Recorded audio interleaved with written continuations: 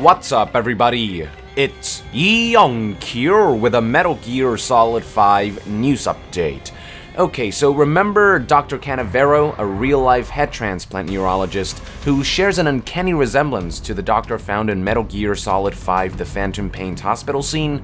For those who don't know what I'm talking about, check out my previous video. A Reddit user who goes by the nickname Thab2UK actually managed to get in contact with Dr. Canavero to hear his thoughts on the latest rumors. His response? He plans to sue Kojima and Konami for allegedly infringing on his likeness, as well as his research because according to him, Phantom Pain has links to head transplant surgery. Then he plans to use that money to further fund his research.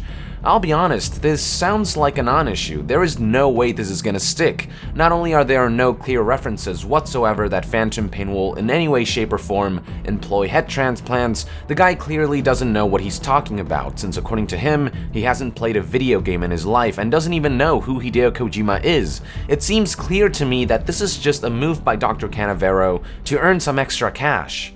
The doctor was also recently contacted by Kotaku UK, who managed to get him on a phone call, when Kotaku had pointed out that Konami had done the 3D facial scan based on English actor Ian Moore, he had the following to say. One of the sponsors was coincidentally a game developer. Maybe some people there, I don't know, maybe they recorded the thing from certain angles, maybe the cameras were set up in the right spots. I don't know, it's just a hypothesis, but maybe it's not too far-fetched. For those who don't know, he was referring to a conference he held in Cyprus. You know, I thought Metal Gear had crazy theories. Once again, the doctor shows a clear lack of knowledge of how these things work. Facial capture requires a very controlled environment involving dozens of cameras, special equipment, as well as dots being placed on actors' faces to track their facial animation. It's simply not possible to capture someone's face by simply placing a few cameras in the right spots during a conference. More ill will is displayed by the doctor with his next quote. To be completely honest with you, this isn't such a bad thing. Since my project requires a lot of money, Mr. Kojima will be able to say he had a part in heaven, Dr. Canavero's head transplant procedure, despite the fact that he probably never intended to. So the guy knows that Konami and Kojima had no intention of using his likeness or his research, and yet he plans to sue for the extra cash. A despicable way to fund what's already a controversial research if you ask me. Then he had the following to say. I went to the police and filed a complaint towards Mr. Kojima. There is also a Twitter account that is not mine, so I reported this to the police too. They will now investigate both the matters. In the meantime, my lawyer is sending a letter to the Japanese company Konami to ask for compensation.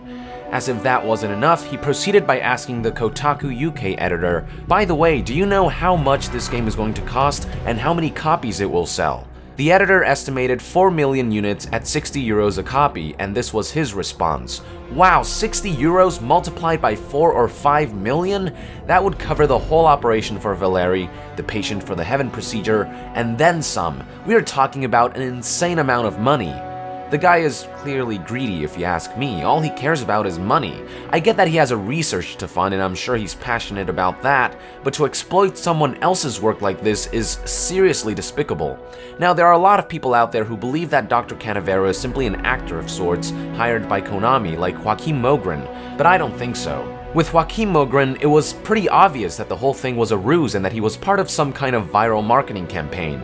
Dr. Canavero, on the other hand, is a completely different matter. He's actually a proven doctor and neurologist whose research extends many years back. With the whole debacle of Kojima leaving Konami, it would be stupid for Konami to shoot themselves in the foot by suggesting that they have a lawsuit on their hands now. As far as I'm concerned, Dr. Sergio Canavero is a real doctor who happens to look like the doctor in Phantom Pain, and is planning to exploit this to earn money for his research. Yes, I know, the coincidences I pointed out in my previous video are insane, but there have been crazier ones too in this crazy world we live in. What are your thoughts on Dr. Sergio Canavero's plan to sue Kojima and Konami? What are your thoughts on the theory that the Doctor in Phantom Pain was modeled after Dr. Canavero? Let us know in the comments below, and to be further updated on Metal Gear Solid 5, stay tuned on YongYea. I'll see you guys next time. Young out.